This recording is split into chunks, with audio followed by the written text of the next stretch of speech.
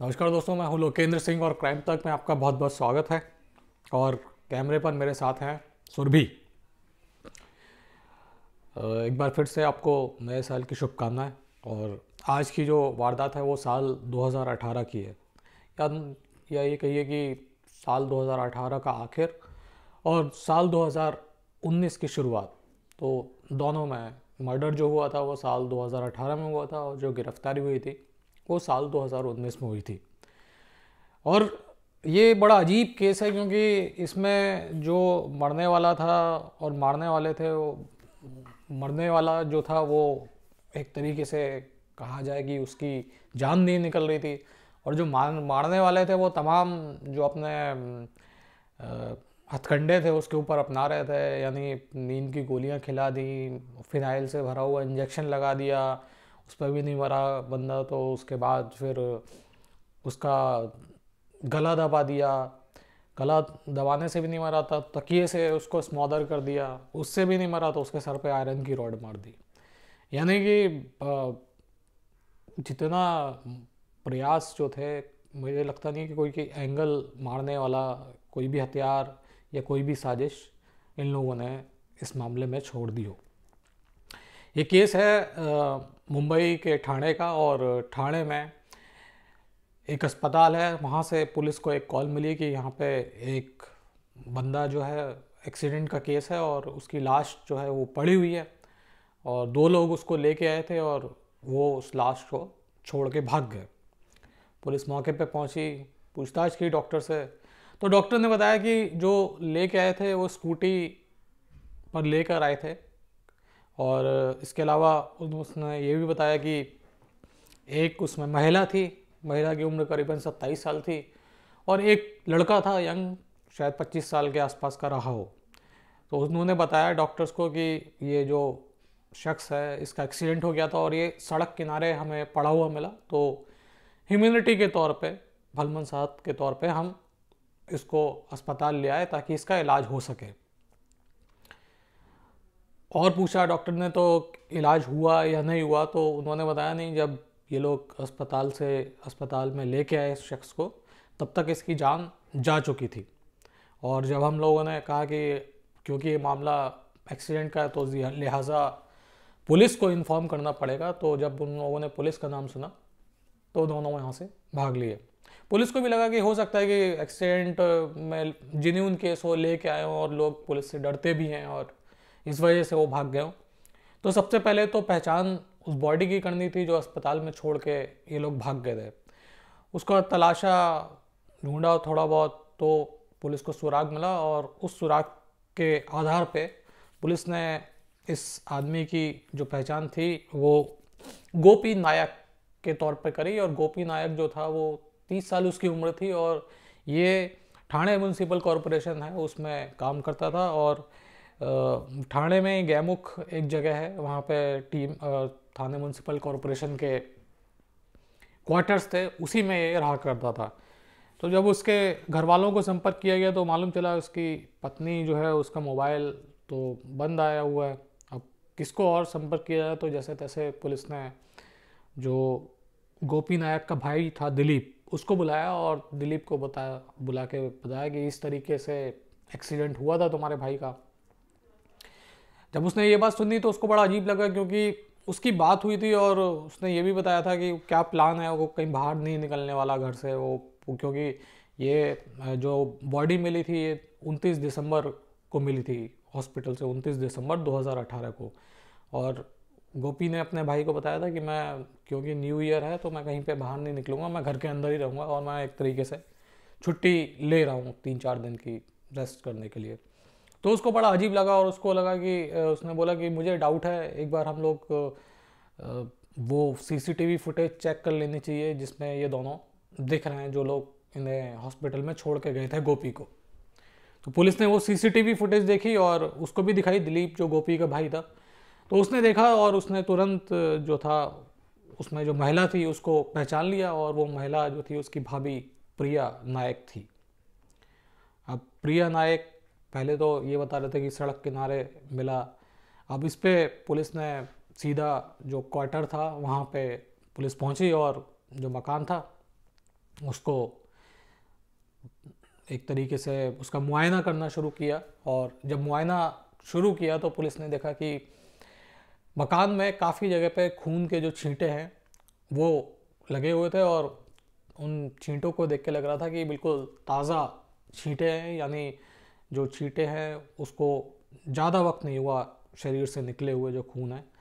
और इस एक दूसरी तरफ़ जो लड़की थी प्रिया, यानी गोपी की बीवी, वो भी गायब थी। पुलिस ने सर्वेलेंस पे फ़ोन लगाया और पुलिस की किस्मत अच्छी थी कि विद इन ट्वेंटी नाइन्थ को ये लोग बॉडी छोड़ के भागे थे, तीस इकतीस। यानी दो दिन की पुलिस ने इन्वेस्टिगेशन करी और एक जनवरी को पुलिस ने इन दोनों को अरेस्ट कर लिया। एक तो उसकी पत्नी प्रिया थी और प्रिया के साथ ही जो एक शख्स था जिसको अरेस्ट किया गया, उसका नाम था महेश कराले। ये महेश को पुलिस ने अरेस्ट किया और दोनों को पुलिस थाने में लेके आई और पूछताछ करी। ज़ाहिर सी बात है कि सबसे पहला शक उन्हीं के ऊपर जाता था क्योंकि हॉस्पिटल में गोपी की लाश को वही छोड़ के गए थे। लिहाजा पूछताछ हुई और पूछताछ में फिर वो पूरी कहानी जो है वो सामने निकल के आई। प्रिया ने बताया कि गोपी जो था, गोपी नायक, इसके पैर में थोड़ा पोलियो की वजह से थोड़ा ये लंगड़ा के चलता था और करीबन नौ साल हो गए थे शादी को, यानी 2011 के आसपास शादी हुई थी छः साल की एक बच्ची भी थी। सब कुछ अच्छा खासा चल रहा था, लेकिन लगभग दो साल पहले इसकी जो मुलाकात थी, वो फेसबुक पे महेश से हुई, महेश कराले जो है। और उसके बाद जो मुलाकात थी, वो वर्चुअल वर्ड से फ़िज़िकल उसमें आ गई और दोनों के बीच में इलिसिट रिलेशनशिप बन गए। ये सब कुछ चल रहा था, गोपी को मालूम नहीं था, वो अपना दफ्तर जाता, दफ्तर से घर, यही उसका चल रहा था, उसको मालूम नहीं था उसकी पत्नी क्या कर रही है। एक दिन ये महेश कराले और जो प्रिया थी, ये किसी मॉल में घूमने गए, मुंबई के, और वहाँ पे गोपी के किसी रिश्तेदार ने प्रिया और महेश को देखा और उसने इस बात की शिकायत कह लो या इतला कह लो या सूचना कह लो, वो गोपी को दी और बताया कि इस तरीके से तुम्हारी पत्नी किसी और के साथ घूम रही थी। इस बात पे गोपी ने इसको कन्फ्रंट किया, प्रिया को इसने बिल्कुल साफ़ तौर पे मना कर दिया कि नहीं, ऐसा कुछ नहीं है, वो मेरा पुराना कोई दोस्त था, वो एकदम मिल गया था मॉल में तो ऐसे ही हम लोग एक एक मतलब थोड़ा बहुत ऐसे घूम फिर लिया था, ऐसा हम, मेरा कुछ नहीं है। लेकिन गोपी के दिमाग में जो है वो शक घुस गया था और उसने वहाँ पे फिर प्रिया के ऊपर नज़र रखनी शुरू कर दी और उसको ज़्यादा एक तरीके से टाइट करना शुरू कर दिया। यानी वो नज़र रखता था कि वो कहाँ जा रही है, किस फ़ोन पे बात कर रही है। अब ये सारी जो चीज़ें जो पहले बिल्कुल फ्रिक्वेंटली मिलना जुलना हुआ करता था, अब वो दफ्तर भी जब गोपी जाता था तो कुछ ऐसा करके जाता था कि मालूम चलता रहे कि और दफ्तर से भी कई बार फ़ोन कर लेता था। बीच में कई कई बार ऐसा होता था कि सर, सरप्राइज़ चेक की तौर पे वो एकदम घर आ जाता था। तो ये सारी चीज़ें प्रिया को लगने लग गया था कि अब ये जो हम लोगों का रिलेशनशिप है वो ज़्यादा दिन तक तो नहीं चलेगा। तो कुछ उपाय किया जाए और उपाय वही था कि इन लोगों ने तय किया महेश और प्रिया ने कि इसका हम लोग मर्डर कर देते हैं और जो लाश है उसको हम लोग डिस्पोज ऑफ़ कर देंगे। किसी को मालूम भी नहीं चलेगा। तो इसमें इन लोगों ने प्लानिंग ये करी कि आ, हम इसको खूब सारी जो है टैबलेट्स दे देते हैं उसकी स्लीपिंग पिल्स दे देते हैं और स्लीपिंग पिल्स की वजह से इसकी मौत हो जाएगी और हम इसको बताएँगे कि इसको बीमारी थी और बीमारी की वजह से मौत हो गई और लोग विश्वास भी कर लेंगे। क्योंकि ज़ख्म और उस तरीके का कोई निशान रहेगा नहीं तो किसी को भी शक नहीं होगा। इस तरीके की प्लानिंग इन्होंने करी थी। तो 27 दिसंबर को ये जो महेश था, ये तीन जो स्ट्रिप्स होती हैं स्लीपिंग पिल्स की, वो लेके आया।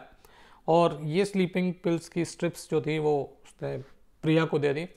तो दोपहर का जब खाना हुआ तो उस दोपहर के खाने में प्रिया ने पंद्रह जो स्लीपिंग पिल्स थी, वो खाने में मिला दी और उसको खिला दी गोपी को। उसने खाई और उसको थोड़ा बहुत नींद आने लगी वो जाके सो गया। और जब वो सोया तो इसको लगा प्रिया को कि ये तो मर गया है। लेकिन, और इसने अपने जो प्रेमी था महेश, उसको फ़ोन किया कि ये तो मर गया है, तुम आके एक बार चेक करो। तो जब वो लौट के आया महेश आया और महेश जब चेक करने लग गया तो बॉडी में जो था, मूवमेंट था तो उसके बाद वो महेश जो था, वो वहाँ से चला गया प्रिया के यहाँ से। और कुछ देर बाद ही गोपी जो था, उसको एक तरीके से असर ख़त्म हुआ नींद की गोलियों का। लेकिन वो सबकॉन्शियस स्टेज में तो था, उसको मालूम था कि क्या चल रहा है, भले ही वो उसके ऊपर इफ़ेक्ट था, लेकिन पूरी तरीके का जो इफ़ेक्ट था वो नहीं था। तो जब महेश आया, उसके बेडरूम में दाखिल हुआ, उसकी वाइफ से बात किया, उसको देखा, तब भी उसका कॉन्शियस माइंड जो था वो चल रहा था। उसके बाद इसने पूछा गोपी ने उठने के बाद कि मेरे पीछे जब मैं सो रहा था, कौन आया था तो उसने बोला कि नहीं, कोई नहीं आया था तो मैं ऐसे ही थकावट हो रही है, शायद तुम्हें इस वजह से लग रहा हो। अब जब उसको लगा कि ऐसे काम नहीं चलेगा तो इसने फिर करीबन 20 गोलियाँ जो थी गोपी प्रिया ने, इसको पहले शाम को जूस दिया था, जूस में डाल दी कुछ गोलियाँ। और बाकी जो गोलियाँ थी, वो रात में जब गोपी ने दूध लिया तो दूध में वो गोलियाँ डाल दी। और जब ये हो गया सारा और उसको यकीन हो गया कि ये बिल्कुल पूरी तरीके से बेहोश हो चुका है, सो चुका है तो इसने दोबारा महेश को फ़ोन किया और इस बार जो महेश था वो अपने साथ एक सरिंज और फिनाइल की बोतल लेके आया और उस फिनाइल की बोतल से वो इंजेक्शन उसने भरा और गोपी जो था उसने उसको तब भी वो पूरी तरीके से बेहोश नहीं हुआ था और उसको थोड़ा बहुत होश था। तो जब उसको इंजेक्शन लगाया जाने लग गया तो उसने, जब इंजेक्शन लग गया तो उसको, उसने उसका एक तरीके से रजिस्ट किया। और जब उसने रजिस्ट किया तो ये जो महेश था, इसने उसका गला दबा दिया और गला दबाने के बाद इंश्योर करने के लिए कि मर गया है। एक आयरन की रॉड ली, उसके सर पे दो तीन आयरन के रॉड से वार किए और ज़ाहिर सी बात है कि स्लीपिंग पिल्स फिनाइल का इंजेक्शन गला दबा दिया, फिर आयरन की रॉड इतना भी आदमी की जो बॉडी है वो झेल नहीं पाती।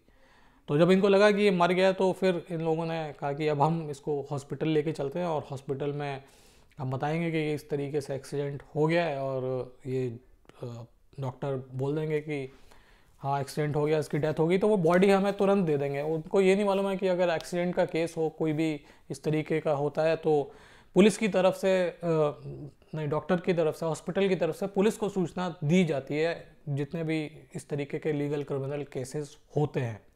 तो यहाँ पे भी एक्सीडेंट हुआ था, इनको लग रहा था कि हम लेके जाएँगे और तुरंत डॉक्टर बोलेगा कि अब तो इनमें जान बाकी नहीं है और आप बॉडी जो है उसको ले जाओ। इस तरीके की प्लानिंग इन लोगों ने करी थी।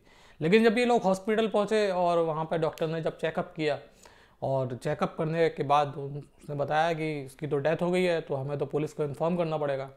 और जब इन लोगों ने पुलिस का नाम सुना तो इन दोनों की सिट्टी पुट्टी गुम हो गई और ये दोनों वहाँ से भग लिए। और भागने के बाद इधर उधर अपना ये लोग छुपने की कोशिश कर रहे थे, लेकिन बेसिकली कोई क्रिमिनल माइंडेड नहीं था इनमें। कुछ, उस तरीके का क्रिमिनल माइंडेड तो था, लेकिन उस तरीके का कोई क्राइम का बैकग्राउंड नहीं था। तो इनके मोबाइल फ़ोन जो थे, शुरुआत में तो बंद रहे थे, लेकिन फिर इनको लगा कि हम तो बहुत दूर आ गए पुलिस की पकड़ से। तो हमने मोबाइल फ़ोन जो थे, वो स्विच ऑन कर लिए और मोबाइल फ़ोन की लोकेशन की मदद से पुलिस ने इन्हें माथेरन जो है, वहाँ से पुलिस ने अरेस्ट कर लिया। तो कुल मिला के एक जो परिवार था, वो ख़त्म हो गया। छः साल की बच्ची, अब पता नहीं कहाँ मारी मारी फिर रही होगी और ये जो दोनों हैं, महेश और प्रिया, इनका वक्त जेल में ही कट रहा होगा।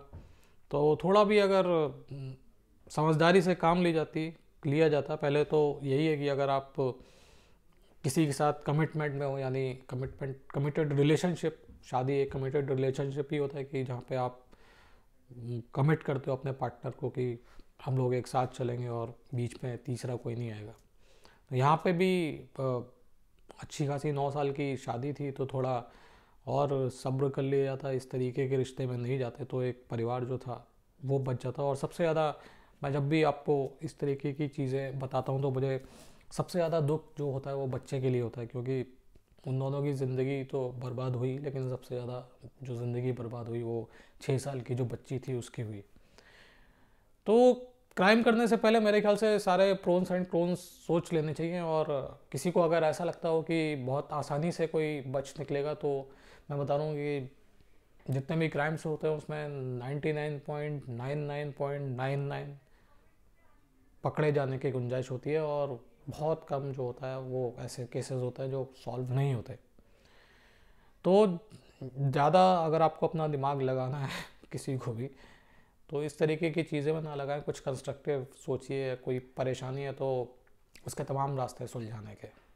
तो क्राइम की तरफ़ मत जाइए, कुछ और सोचिए, कुछ करिए अगर किसी मुसीबत में, किसी रिलेशनशिप को नहीं चला पा रहे तो फिर आज के लिए इतना ही। फिर आपसे मुलाकात होगी। तब तक के लिए अपना ख्याल रखिएगा। जय हिंद, जय भारत।